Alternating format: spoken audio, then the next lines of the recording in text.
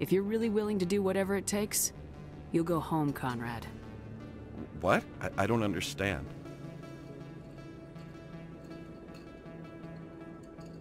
You know what keeps me going out here? Knowing that people back home are keeping humanity strong. You... You're right. I just got so caught up in all of it. I wanted to help. I'll go home. Thanks for setting me straight.